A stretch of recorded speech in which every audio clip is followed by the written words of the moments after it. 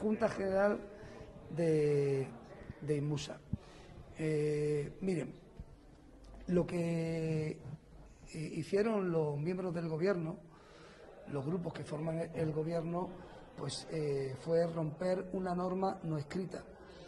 El Partido Popular ha estado gobernando desde el año 2000 al 2019 y siempre, siempre ha permitido que formen parte de los consejos de administración las personas que decidían los distintos grupos políticos. Siempre lo ha respetado.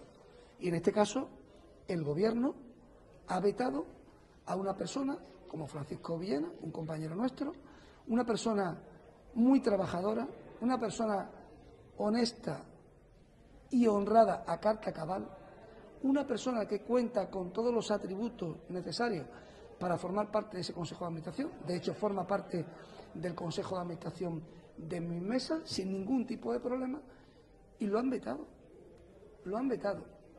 Yo creo que eh, esta ruptura sobre estas decisiones que corresponden de manera unilateral a cada grupo político, pues tendrá consecuencias que no esperen eh, de estos señores del Gobierno en esta legislatura la misma actitud y la misma actuación que han tenido ellos hacia nosotros.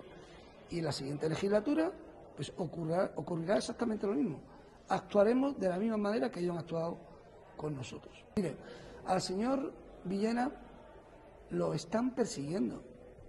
Al señor Villena ha habido en nuestra ciudad alguna que otra empresa que ha querido contratarlo. Ha querido contratarlo. ¿Por qué? Porque es una persona que tiene experiencia en la gestión, es una persona muy trabajadora y es una persona capacitada. Pues bien, han llegado a esa empresa a vetarle. Han llegado a esa empresa incluso con amenazas, diciendo que si eh, contrataban al señor Villena, pues que se atuvieran a las consecuencias. Eso solo lo hacen los fascistas y eso es lo que le están haciendo al señor Villena. Eso es inadmisible, es intolerable.